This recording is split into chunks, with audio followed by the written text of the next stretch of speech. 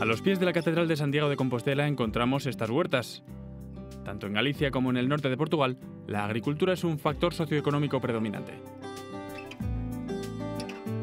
En estas dos regiones transfronterizas, expertos como Felipe y Juan trabajan para transformar y revitalizar el suelo con composto orgánico y tecnosoles, dentro de un proyecto europeo. También es posible restaurar los suelos dañados, como en esta antigua mina de cobre, la mina de Touro. Ahora hay árboles, reptiles y pájaros, mientras que hace 20 años aquí no crecía nada. Era el silencio más total, total. Ni una brizna de hierba. Toda la hierba que ves es del tecnosol. En este caso lo que queríamos conseguir era volver a tener eh, actividad, eh, una, una, faunística, volver a tener vegetación, volver a tener capacidad productiva forestal. Y se ha conseguido. Se trata de un esfuerzo conjunto llamado Res 2 Balum, en el que participan tres ciudades portuguesas y cuatro españolas.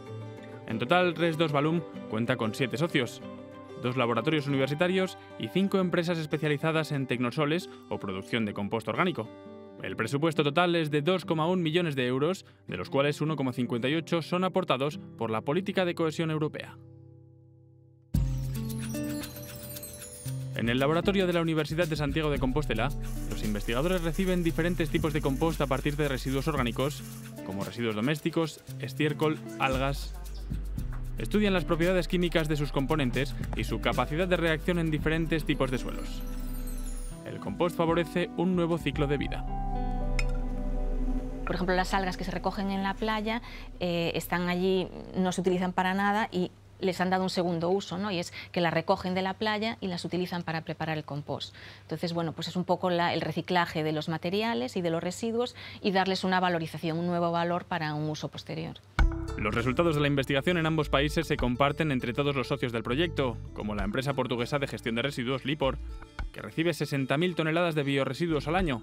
Estos restos provienen de la recogida selectiva, se mezclan con los residuos vegetales y el compost se obtiene después de algunas semanas de maduración en estos túneles.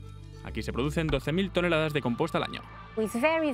Es muy, muy importante contar con este tipo de instalaciones, no solo para tener compost, sino para recuperar nuestra materia orgánica y devolverla al suelo.